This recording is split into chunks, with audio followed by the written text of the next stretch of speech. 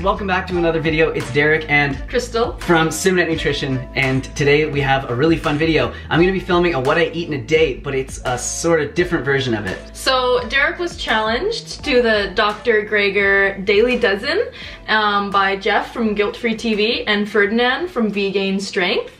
And that's what we're gonna be doing today. Yeah, I'll put their links down below. If you guys don't know of them, definitely check them out. They're um, all into like the vegan whole food lifestyle and also working out and everything. They're really great guys and have some really, really good content as well. So Dr. Greger's Daily Dozen is an app actually that he's come out with and you can explain uh, what it's all about. Sure. So the Daily Dozen are basically like 12 foods that Dr. Greger has decided uh, that are the most impactful foods uh, to positively impact our health that we can be eating. And he's made an app where you can easily track those 12 foods and make sure that you're getting in them into your daily regime. So you can see the app is really simple. It's just got some boxes where you check them off after you've had a serving of that food or that type of food. And then he's also got exercise in there and a few other things. So we'll be going through it in more detail. But uh, yeah, we've already exercised today. Let's so check it off. Let's check it off. So we checked exercise off. I don't know if you guys can see that. And we've We- had a couple glasses of water already yeah. today. Well, it's just me. We're we're so that's the thing is that we're kind of we're doing this as if it's just Derek, but Yeah. I'm, I'm here too to be like, hey, this is what I eat as well. we pretty much eat like this every day. Yeah, we But, always incorporate um, these foods into our diet, but it's just gonna be fun to track them. I've probably had maybe two liters at least of water already today, maybe two and a half liters. All right. Um, but that's including my, uh, like what I drank during my workout, so we'll just say it's like a liter so far, and I think that probably... We'll just check too. Sorry, our cat is just everywhere. It's really cool. This app is really cool because it'll say you need to get or you should be getting three servings of beans a day and you're like what i don't understand and you press the little icon and it gives you um, a bunch of info on what a serving of beans would be or what you can expect so it would be let's go to imperial so a quarter cup of hummus is a serving or half a cup of cooked beans is a serving so that's really cool So I'm about to make a smoothie bowl, and it's obviously gonna check a bunch of those boxes off. So I'm gonna get all the ingredients out and make that, and we'll check off some boxes and see how we did. But something feels weird. Doesn't feel quite right, does it, doesn't about feel this? doesn't feel quite right I know what it is. what Just a sec. okay Ah, that's better. Perfect. Nutritionfacts.org. You always gotta rep it. Gotta represent. Gotta represent. All right, let's do this. I'm starving. Okay, so here's everything that's going in the post-workout smoothie bowl. Um, we have two bananas, one fresh, one frozen. We've got some berries, two cups of berries. We have two pitted medjool dates. We've got some black pepper and some turmeric. That's gonna account for our spices that he has in there. We've got a bit of almond milk to get everything going. And then I have some ground flaxseed. So I know that Dr. Greger isn't the biggest fan of like blended smoothies and smoothie bowls, but I think he'd be pretty proud of this setup right here.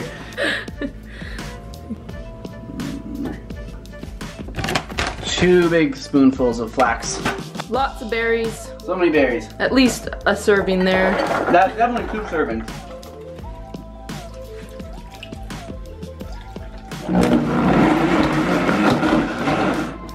Should we get some greens in it?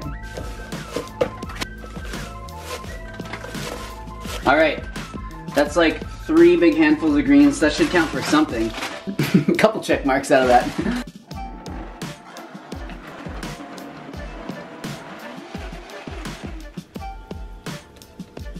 All right, so the greens that I put in there was baby kale, because I know you guys are gonna be asking in the comments. And then I'm gonna put on some granola that we made. This is like a dehydrated granola.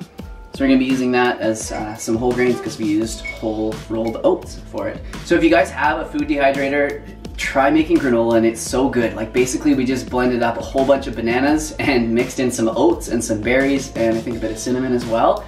And then you just dehydrate it overnight and you have like the best oil-free, like low-fat, sugar-free granola you've ever had in your life. So can fire some of that in there. Other fruits, definitely got two of those already. Cruciferous veg. Kale, boom. Other vegetables? No. No. Flaxseed? No nuts. Spices. Whole grains. Because you put that uh, oatmeal on. Yeah. B12? B12. And vitamin D. Yeah, I guess we gotta go outside today. We or we go can take a supplement. We have we do have a vitamin D supplement. I'll show you guys what we have. So here's the vegan vitamin D3 that we use throughout the winter, but the sun is shining now, so we'll probably be going outside. Yay, blue skies. So we'll get outside a little bit today as well and get some vitamin D. But yeah, that's what we use. Vegan vitamin D3. So you guys can see that we've already checked off 10 of the 24 boxes. We're not even past breakfast yet. We're doing pretty awesome, Crystal. All right, I'm gonna go enjoy this and then we'll see you guys for lunch and we'll check off some more boxes.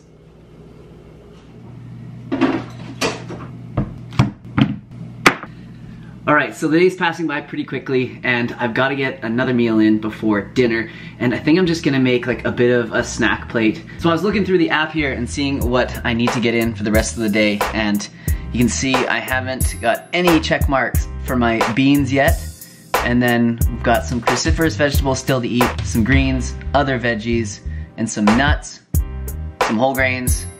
Gotta drink some water. Oh, I just had some water, so I'm gonna do another check mark there. And then we gotta get outside. So I'm going to make this, and then I'm gonna get outside for a little sunshine. So all these ones will be easy to clear at dinner, but um, the beans I'm a little worried about. So I checked to see what qualifies uh, for beans, and one quarter cup of hummus is one serving.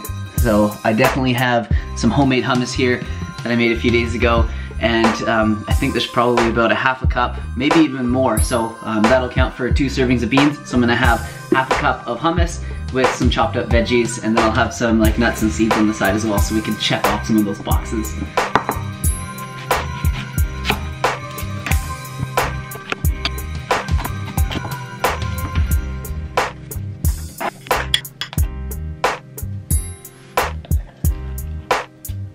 And I'm also gonna throw in this handful of nuts and seeds so we can check off that category. We've got a Brazil nut in there, got some almonds, pumpkin, and sunflower seeds. So in this hummus is just chickpeas, tahini, some lemon juice, and then some herbs and spices that I put in there as well. So there's no oil or anything in that. I know you guys are gonna ask, what's in the tahini? So that's it, super easy to make. I'm sure you guys know how to make it, but uh, yeah. So I'm gonna enjoy this snack, and then I'm gonna get outside and get some sunshine. Oh, but now we gotta check off all our boxes, so this is the fun part here. All right, so that counts as two servings of beans. Other fruits, do we have other fruits in there? Crystal, is pepper a fruit or a vegetable? Hey Siri, is a bell pepper a fruit or a vegetable? Checking on that. Okay, I found this on the web for Isabel pepper, a fruit or a vegetable. Bell peppers are actually fruits, and so are cucumbers, green beans, and some other stuff. Okay, all right, so it's a fruit. Uh, and then we've got cucumber in there as well, which is another fruit. I thought those were vegetables, that's why I was getting those in there. Okay, so uh, we've cleared all the fruit for the day. That was easy. Cruciferous vegetables. Uh, oh, we got cabbage. Awesome. And I should say that purple cabbage, red cabbage. I always say that.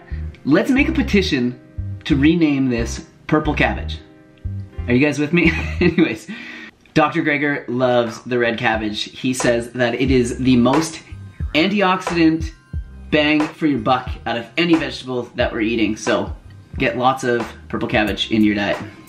So then looking at what we have left, we have some more greens to eat, other veggies we have to eat today. Oh, we've got the nuts and seeds in there right now. We've got to get a couple servings of whole grains in, and then I've got to drink some more water. I got to get outside in the sunshine. So good. Okay, so like I said, I'm gonna enjoy this, and then I'm gonna go outside, get some sunshine so I can tick off that vitamin D box.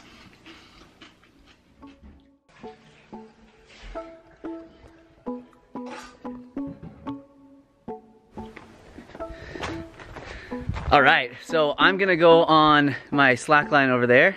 It's right in the sun right now, it's perfect. And uh, Coco, he's gonna get a little exercise in as well, and he's gonna be chasing these pine cones. It's a pretty cool little uh, trick he does. Cookie.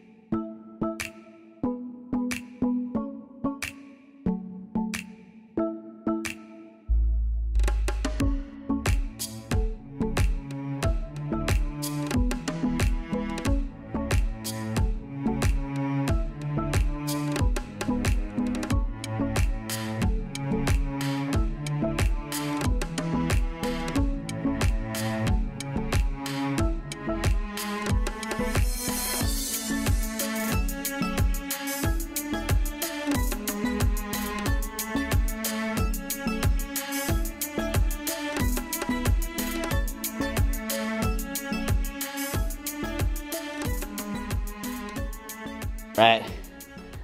I would say that that counts for some sunshine. All right, so I'm gonna do some work until dinner and then I'll see you guys then and we'll check off the rest of these boxes.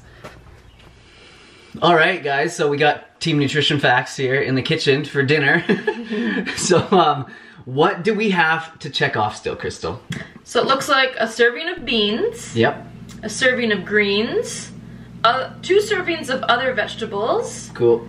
a couple servings of whole grains, and then you need to drink some more water. Yes, I've had some more water since then, so you can, we'll check off another one. Beans, I think we have a can of black beans, so I'm going to open up these and definitely have some black beans. And then we've got some greens gonna go in there anyways, always on top of a bed, a bed of greens. And then other vegetables, uh, that'll be easy. I'll grate some carrot, avocado in there, some tomatoes, that sort of thing. And then what else do we have? Yeah, I know it's hard because there's so many vegetables, so it's like which ones to use. Yeah, we'll get through the other veggies easy. Whole grains. I'm gonna use quinoa for dinner tonight uh, for the whole grain. I know it's a seed, but uh, the nutritional content is a lot more similar to a grain, so that's why uh, it's considered a grain on this app. yeah, quinoa right there. All right, so let's get making this dinner. Um, I'll add some spices and stuff and uh, some sauce and whatnot, and I'll show you guys that along the way. And I will eat it. So when I cook quinoa, I always rinse it really well first, so that'll be the first thing I'm doing. I'll get that on the stove. All right, so now that the quinoa is on the stove, I'm gonna chop up a bunch of other veggies for like a little salad that I'm gonna have on the side.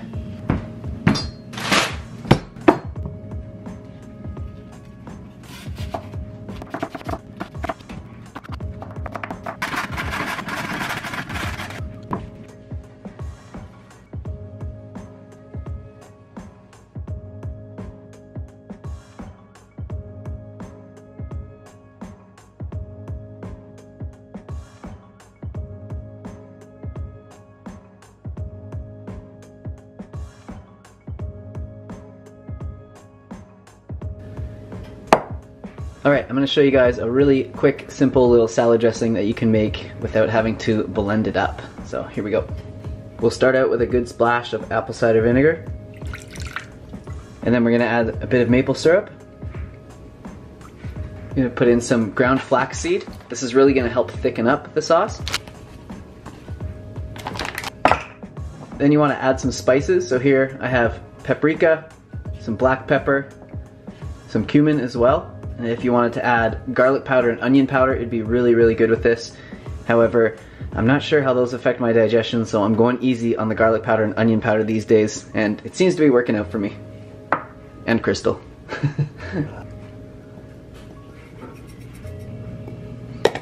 and I really like to add mustard to my sauces. It seems to make everything mix up really nicely and tastes really good in there as well. Gives it a good bite. So, good scoop of that in there. Next. And then as you let it sit there, the flax seeds are going to thicken the sauce. So in a few minutes, we'll come back and it'll be quite a bit thicker. All right, so now that we have the salads made, some salad dressing, we gotta check on the quinoa, see how it's doing. And it's looking perfect. Whoa, fogged you guys out there. It's looking really good, nice and fluffy. And then just like how you add the lime to the coconut, you add the beans to the quinoa. All right, I made a game time decision there to add some green peas to the whole mix. It's gonna be really good. So yeah, it was a really fun challenge. I really enjoyed doing this. I hope you guys like this video as well. Uh, and I just want to say thank you to nutritionfacts.org and to Dr. Greger for everything that they're doing because they are doing such amazing things for this movement. It's unbelievable, and uh, they've been like a consistent resource for me, for Crystal throughout her journey, and it's really amazing knowing that I can just tell people go to nutritionfacts.org and search for yourself, Yeah. and I know that they're going to find the best information possible, science-backed, evidence-backed research information. So I love you guys, Dr. Greger. You're unbelievable. Thank you for doing what you guys do. I know you guys put in a lot of time, a lot of effort, get through all those studies. All right, so dinner is ready. You can see we have some big, huge, delicious bowls. We checked all those boxes easily today, but that's a really cool app. It's really simple and it's a good way to track to make sure that you're getting in all the nutritious food that you should be in a day. And it actually like gave me some ideas for dinner because I was like, hey, what should I have? And I'm like, hey, I gotta eat a couple more grains. I'll have some quinoa. Have to get some beans in there, and I knew we had beans, so it kind of helped me put it So just how we were nominated for this challenge, as part of it, we're supposed to nominate some other people. So we have some ideas in mind, some friends of ours that we thought would be cool to nominate if you guys are into it. If you guys want to do it, cool. If not, no worries. But we want to challenge uh, our really good friends, Jon Venus and Kathrine. Woo! um, know that they'll kill this. This will be really fun for them. Well, these are all our friends, but we want to Yeah. challenge Maddie Lymburner as well because this is totally up her alley, and I think she'll do some really fun things with the Daily Dozen. And same with Brian Turner. So Yeah. if you guys are up for it, we challenge you. All good friends of ours, all really good people. If you guys don't know their channels, there'll be links in the description down below. Check them out. But I'm sure if you guys know of me, you know of them as well. All right, so I think that's it for this video. Let's go eat dinner. I hope you guys like this. We had fun filming it. Definitely let us know in the comments down below what you guys thought of the video. Don't forget to like and subscribe and all that good stuff. We'll see you guys soon with another video. Any last words? Yeah. Can't wait to meet you, Dr. Greger. We're gonna meet you one day. Nice.